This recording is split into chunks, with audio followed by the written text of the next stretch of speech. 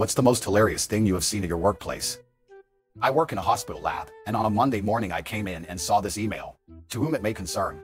I had two cupcakes and put them in the core lab break room refrigerator last night on the evening shift and someone ate one of them.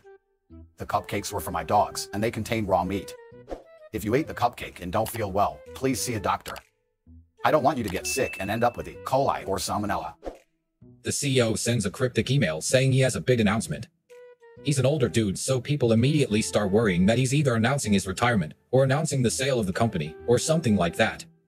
At the time, we were having a great year, but people were still freaking out that maybe he sold and now our futures are in jeopardy. Everyone shuffled into the conference room, where he's there with a microphone. There's champagne and candy on a table.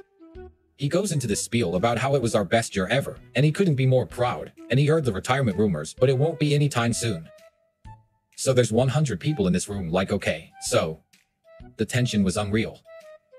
Please help yourself to some candy. Also, the executives and I are going on a Caribbean cruise to celebrate. Join me in congratulating them on this great success.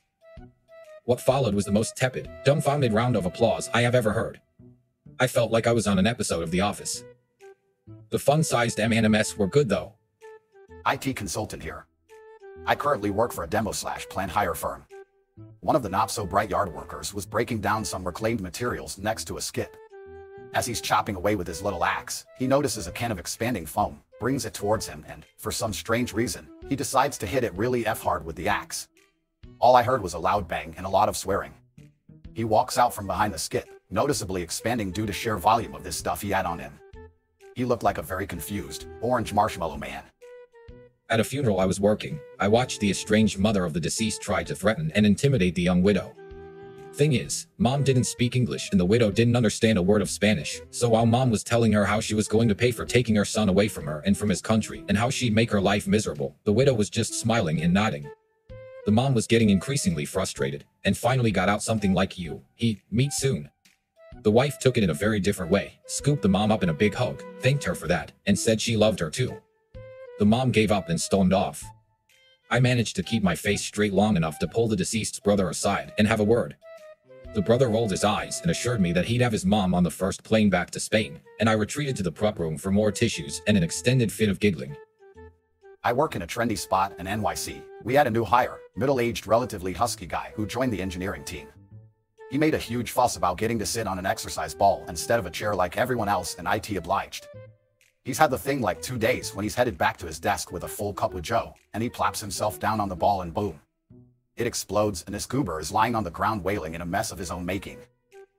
I work at a company houses two data centers and we lease racks out to customers so they can bring in their equipment and we provide the connectivity, cooling, power redundancy, and monitoring.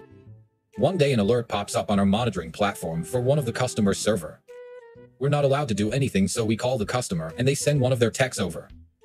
I go to meet him and let him into the data center. He's in there for about three hours. Finally, he calls and tells me the job is done and asks if I can escort him out. I go down there and I find this guy next to his rack, completely but naked. He sees me, puts his clothes back on, closes the rack, packs his equipment, and tells me to escort him out. I kept a straight face the whole time and I never questioned him. I check out the surveillance camera, and as soon as I let him into the data center, he removes his clothing, pulls out his laptop, and begins troubleshooting the issue for three hours straight, and our data centers are cold because of the cooling.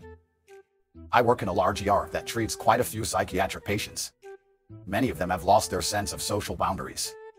I learned this when I saw one of them having sex with their so in the hallway. They were both very large and ignored our stern requests to stop. They were also very loud and quickly became a spectacle as all the other patients looked out of their rooms to see what the commotion was about. I was not about to intervene at all. Security ended up having to separate them. I wish I could have unseen it, but it's still a running joke three years later. After services one cold winter day, in the church where I'm organist, there was to be a baptism. The mother noticed steam rising from the baptismal font. The minister had warmed the water so the baby wouldn't cry with cold water. She said, Why is that baptismal water steaming?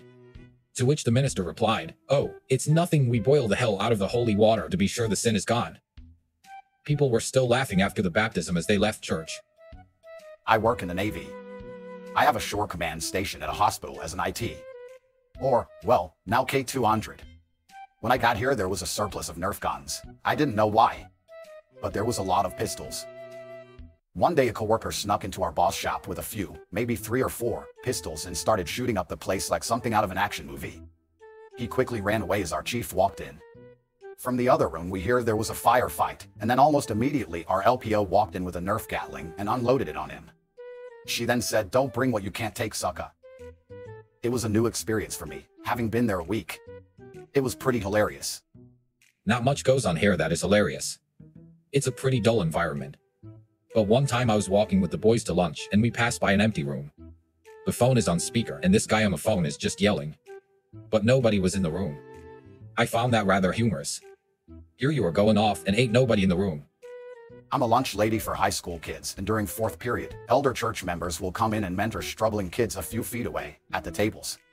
Well, I had just put out some delicious smelling mashed potatoes and chicken, and this artsy junior came in and sees the potatoes and yells in a deep voice, I am gonna not. And the church members look over at her and I clap my hand over my mouth because I immediately burst into laughter. I love these kids, I really do. I work in a corporate atmosphere in an important industry. That's all I can say. Currently there are inflatable rainbow donkeys hanging by their necks like a noose, suspended from the ceiling. Not sure about context. Edit. No, this has nothing to do with being gay or homophobic.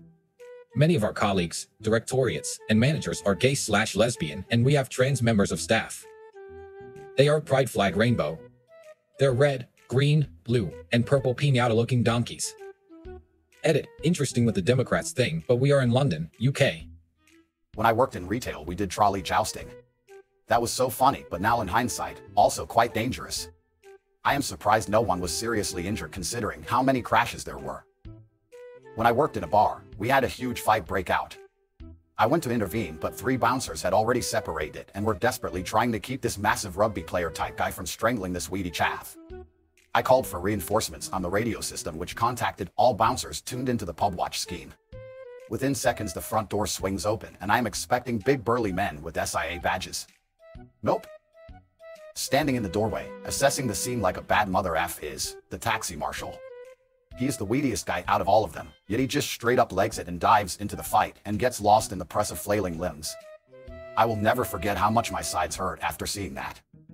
I used to work in an egg factory. One day I walked into the washroom to poop and sat down in a stall. I hear an abundance of grunts and splashes from the next stall. Sounds like whoever in there is laying some serious cable. He finishes up before me, and I see through the crack in the door that it's my buddy Garrett, who I had gone to Burger King with before the shift. So Garrett washes his hands and leaves while I remain on the stall trying to squeeze out some more feces.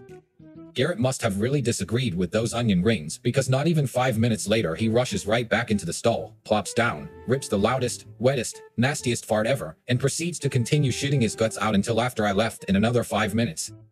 Needless to say a lot of us made fun of Garrett for that incident. A brand new employee, who clearly was inept and made me wonder why I hired him in the first place, crashed into the glass wall separating our department and the rest of the office. It was impossible not to laugh though I managed to hold it in for a few minutes before I ran out of the building to laugh my ass off. His oily face left a nice Han Solo carbonite print on the glass.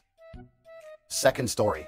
At a previous company, a rather rotund coworker shat himself and did not realize it.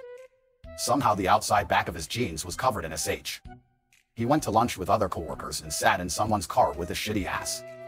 No one said anything. I was new at the job. I'm sitting next to this guy, but I mostly keep to myself because I don't know anyone much yet. The guy is sitting in his chair and leans down to open a drawer in his desk.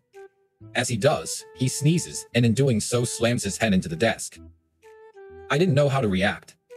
This was one of the first interactions I had with the guy, but it was too ridiculous not to react. I was too shocked to even laugh about it then. I just said, did you seriously just do that? It was like the dumbest thing I had ever witnessed, and I was thinking, these are the people I'm going to be working with? He just laughs it off and says, ha, yeah. I used to work for my father, and he was very loyal to his second in command, who was the most inept person I've ever met. When he was going through a terrible divorce, he was living out of his office for like a month, as he thought his soon-to-be ex-wife was staying at his house. Come to find out a little while later that his wife actually moved out of his house right after he moved into his office, and it took him a month to realize that his house was vacant and that he was living out of his office, sleeping in a sleeping bag on the floor for absolutely no reason at all. I worked in a small office, at most six to eight people at a time, and we did mainly programming slash website design slash graphic design work. One day, a bunch of us discovered the 2048 game and started playing. We got really competitive and a lot of us would play and try to get the highest score, screenshot it and write it on the glass door with the first two letters of our name. Somehow, by the end of the month the entire glass door was filled with numbers and initials, but everyone was too lazy to clean it up. We had a fair few people slash clients slash friends come over and everyone asked about the numbers and letters. We'd make up a different story each time. It's the master key. It unlocks any security system at all time. It's the hexadecimal code of a new AI we wrote that always beats a human being in Candy Crush. The numbers and letters are part of an initiation code to a secret hackers club. It was a funny inside joke. Work at a funeral home. Was out on a transfer and this family kept delaying us. We're ready. No, we're not. Over and over again. So finally we're outside with the stretcher. This one relative jumps full speed on the stretcher. My coworker was looking away and it knocks out of his hands. The lady and the body start rolling towards the street. About 20 people gasp and I see my coworker dive before they hit the street. The family let us go right after that. I used to work as a janitor in a student union at a public university to pay for tuition. Because it was a public university, the public is welcome in any of our facilities, so long as they don't cause any trouble. Of course, this meant that the homeless frequented the student union. One night, I go to clean the downstairs bathroom. There's a homeless man in there with what looked like a pretty bad infection in his mouth and gums. He is literally pulling teeth and bits of gums out and throwing them in the sink. There is blood everywhere. He leaves, but I'm tasked with cleaning it up and we have only wrist-length gloves and no protective gear. The sinks also have those drains with the little holes in them, so I had to pick up all the bits of teeth and gums by hand and clean up all the blood on the mirrors and floor. Yuck. I used to work at a boarding house for dogs. It was next door to a vet clinic, and one of the vet techs, a 40-something soccer mom, was always S to us. We were just a bunch of teens working minimum wage, and we weren't afraid to trade insults with her if she started something. We shared an area behind the strip center, which was shaped like an L. That was a break area for the vets and a potty spot for the dogs. We'd take them out on leashes, let them do their business, and take them back in. On this particular day, one of my female coworkers took a white French bulldog out, this particular dog had to eat a very specific diet. I had another dog, so did the other two people working that evening. The three of us were shooting the S and the girl with the Frenchie was off to the side, on the phone. Soccer mom comes out and almost immediately starts insulting the girl with the bulldog, saying she was dressed like AS, etc. She probably chose her because she was isolated from the rest of us. The three of us who were talking just hear bickering, and bickering, and then a really loud squish, followed by a scream of horror. We turned around and the soccer mound is covered in 100% liquid S. The feeders had given the little Frenchie the wrong food. The old beast started throwing up all over herself, and our coworker just took the dog in to be cleaned off like nothing happened. Teaching first grade, had a sweet troublemaker named Jackson. Cute kid, but accident prone and almost always in trouble. One day Jackson has an accident in his pants. It happens, he kids are only six and we keep a supply of emergency clothes for just this type of situation. So I get the child some clean clothes and take him to the bathroom, where he goes in and changes.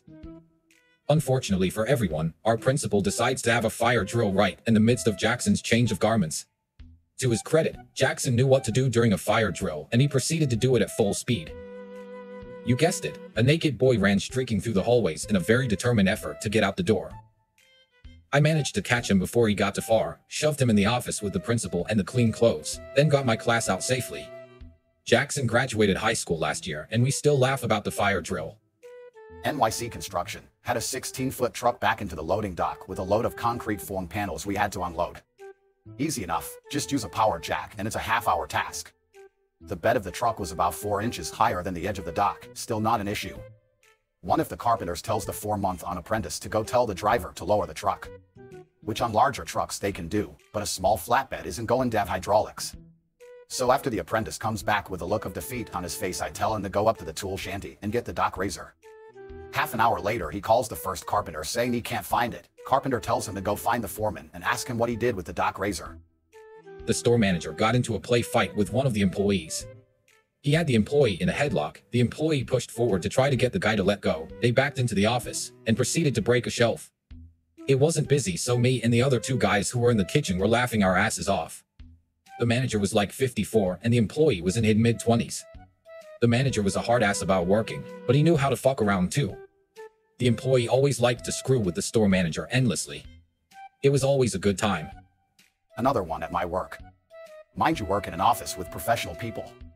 Walk into the men's bathroom. I go to pinch a loaf, open the stall door, and there's literally shit everywhere. I mean, this guy must have had the shivering squirts really bad because most of it didn't make it in the toilet. It was on the toilet seat, on the toilet flusher, on the wall, on the floor. I was disgusted, but also found it hilarious. I felt really sorry for the cleaning people. Anyway, it was kind of an inside joke in the office slash witch hunt to find the culprit. Our CEO decided that he was sick of being bothered by people asking him how the company should be run, so they should all go ask people under him. He made this announcement by memo distributed to the entire company titled Respect the Chain of Command. The title was the only place that was spelled out, the body of the memo shortened it to cock. So we got a memo filled with such gems as you must respect the cock. Failure to respect the cock is a termination offense. Seriously, this one-page memo had the phrase respect the cock like 10 times in it. What about you? Tell us your story in comment section, and don't forget to subscribe to our channel. Right now,